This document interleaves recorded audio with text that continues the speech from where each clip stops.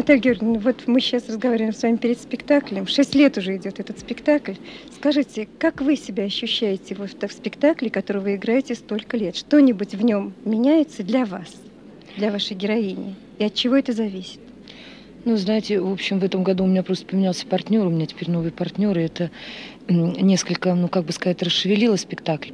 Вообще играть спектакль э, такой напряженный, как «Леди Макбет» в течение шести лет очень сложно, потому что где-то на три года хватает запасов, которые в тебя вкладывал режиссер, ну вот на этой предварительной Ничего. работе, да, в репетиционный период.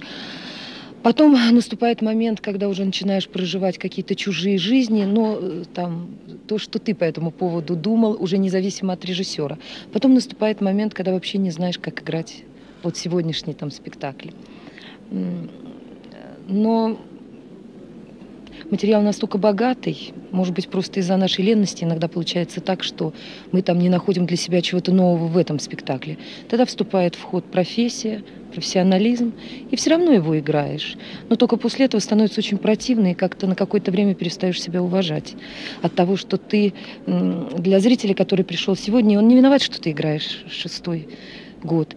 Ничего нашел, не нашел нового, а находить-то надо. Надо же не повторяться. Так что вот одухотворяет спектакль заново. Ну, в общем, он оживляет, стимул. да, оживляет и, конечно, вливает какие-то новые, в общем, потоки и струи. А любимая роль ваша в театре? Можно так просто выразить? И... Знаете, я вообще-то не очень люблю отвечать на такие вопросы, потому что они такие очень максималистские. Да, я говорю, вот. можно ли.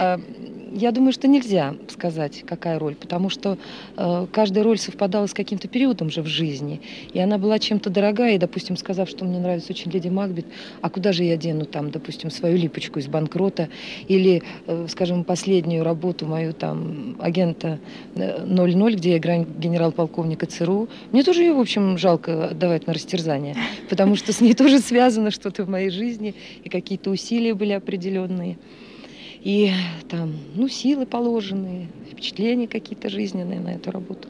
Не могу сказать, какая лучше. Любите все?